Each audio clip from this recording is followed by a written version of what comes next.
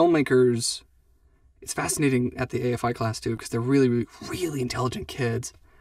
I say kids, they're my age. It's weird um, because they're grad students, and they they have these great ideas, and they're telling them to me, and they want to kind of put them the words to paper, and they say we want to write a script, and we're gonna say you're gonna see this, and you're gonna see this, and you're gonna see this, and you're gonna do this.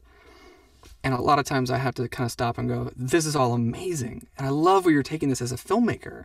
You even put a montage in here. Like you know how to tell what you want to tell. But you're going to be working in a medium that allows you so much more that you kind of have to pull the veil away and say, look at all the things you can do. The problem is, and when I given that the you know the the skies there's no limit anymore. Mandalorian is brilliant in how it does this.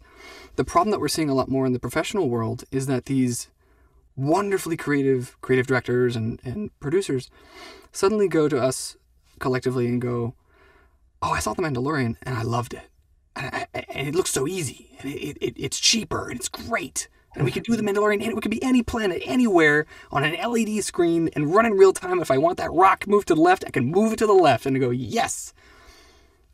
But but but that's that's the easiest part of it. Right.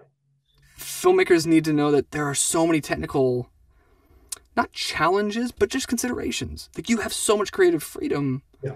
But you just got to know how you want to use it and why you want to use it, which is kind of coming back to your main question of when. When's Yeah. the right time?